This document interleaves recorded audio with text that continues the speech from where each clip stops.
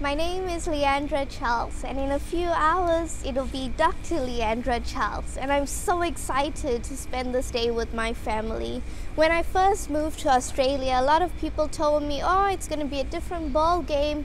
You're a foreign student. It's the education system works differently over here, and you the things that work for you in high school may not work for you in university, and you need to be aware of that and be ready for that."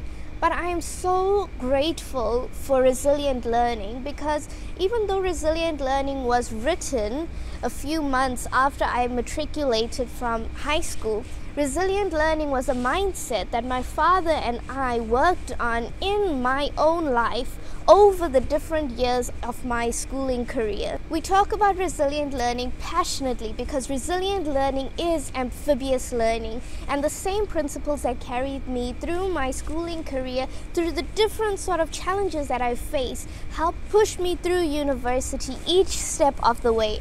And for those of you listening to me, whether you're a student, a parent, or a teacher, I want to say join me on this journey. And what has helped me through my schooling career and my university career can help you too. Thank you for partnering with Resilient Learning. Together, we are changing the world, one school at a time, one classroom at a time, one student at a time.